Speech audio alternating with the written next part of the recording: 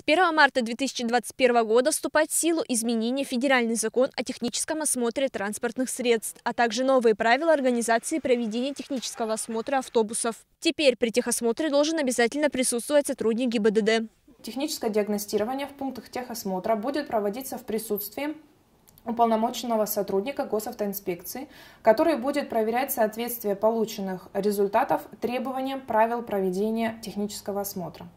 При этом сотрудник должен будет э, проверить соответствие автобуса данным, указанным в свидетельстве о регистрации транспортного средства, а также в государственном реестре транспортных средств.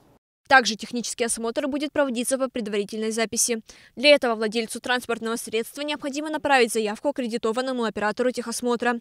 В ней следует указать желаемую дату осмотра, сведения об автобусе и номер телефона. Записаться на технический осмотр по новым правилам водители могут уже сейчас.